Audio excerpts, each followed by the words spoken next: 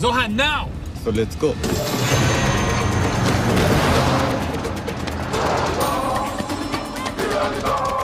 What is good, Meat Boys? You see that meat at the bottom right corner of this vid. So grill that slab if you're new here. This is Meat Boy MMA. We're bringing locks and laughs only. And and this one we got Randy Costa, aka the Zohan, taking on Adrian Yanez.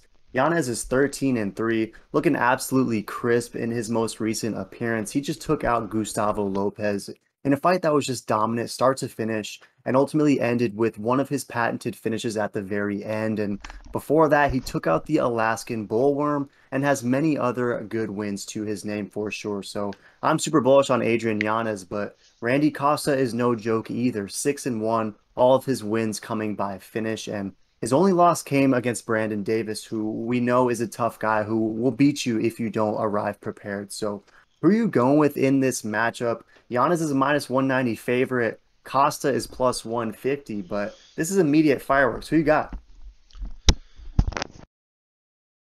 Yeah, this is a very tough one for me to pick. Uh, both these guys are absolute savages, but um, to cut it short, I gotta go with the Zohan. First off, one of my favorite movies. Uh, that is the best movie. If you haven't seen it, check it out. You'll understand why. No, uh, but Randy Costa has just been looking like an absolute stud. Um, I I just don't see how uh, Yanez is going to put him out, and I think that's his way to victory is getting that knockout. I think Randy's too tough. I think he's too sharp on the feet, and I think he's just an all-around better MMA. Yanez might be a better boxer, but I think Costa full around circle is just better in general. Uh, so this is be a great fight, very competitive, but I got to go with Randy, and I think he's going to get it done second round KO.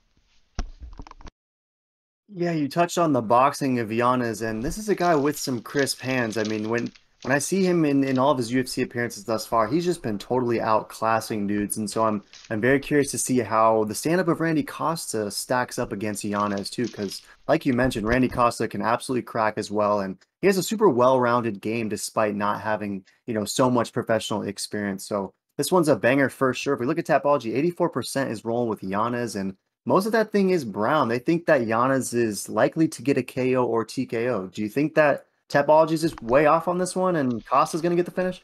Yeah, I, I, I don't know where people are looking, but you know, clearly depending on the demographics, it might be just a bunch of Yanez fans that that uh, you know signed up on Tapology for this fight.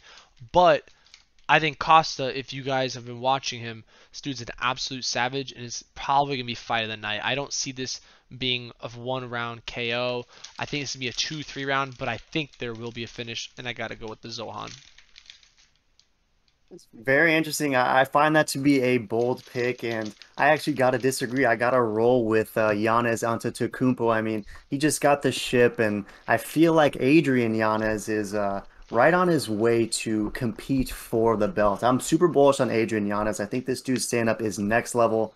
And uh, I see it the other way. I think Randy Costa is getting put out. And even though, you know, I'm a big fan of Randy Costa, I think the dude is an absolute savage. I think Yanez is going to be too quick, too technical, and ultimately too skilled for the Zohan. So should be an interesting fight nonetheless. Maybe fight of the night, but this entire card is stacked top to bottom with bangers. So make sure to check out the other vids and Meat Boys, and obviously don't miss the Meat Lock.